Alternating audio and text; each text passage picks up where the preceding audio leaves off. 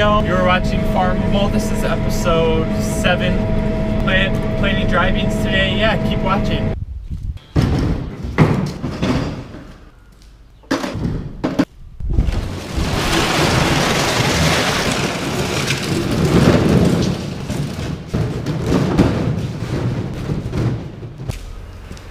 We're taking a load up to the recycle.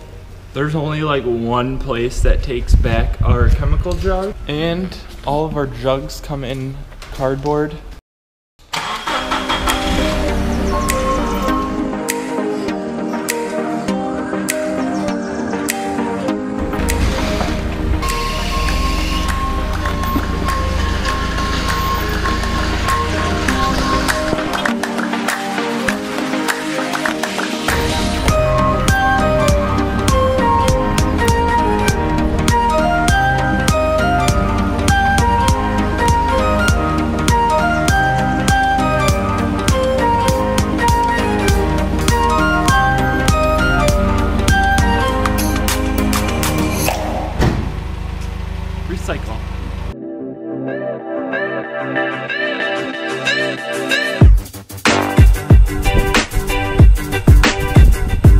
Perfect conditions. There's a little moisture in the ground.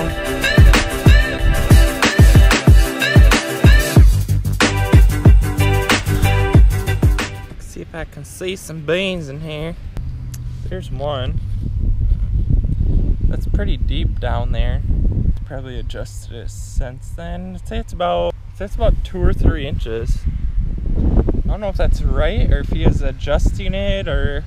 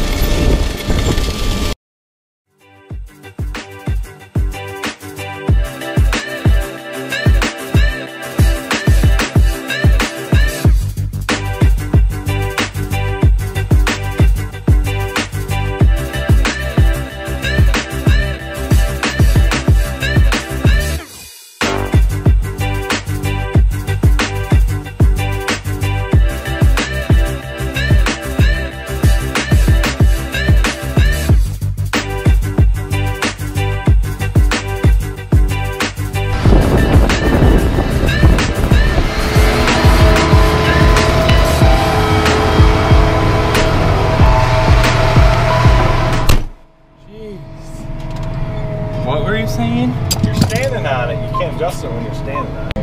Okay, so we were just out adjusting the row cleaners. Um, like you don't want them down too far or else they'll dig into the ground. It just makes a mound in between the rows. When we come back and roll it and there's mounds, then it won't like flatten it evenly. So raise those a little bit. Sure you'll see some rolling of the beans in an upcoming video probably this week. So subscribe if you're not already. Um, thank you for watching. Please like this video. I know I'm getting a decent amount of likes on my other videos, but if you haven't liked them yet, please hit the like button and subscribe so that you get all my video updates. Alright, that's all. Thanks for watching. See you next vlog.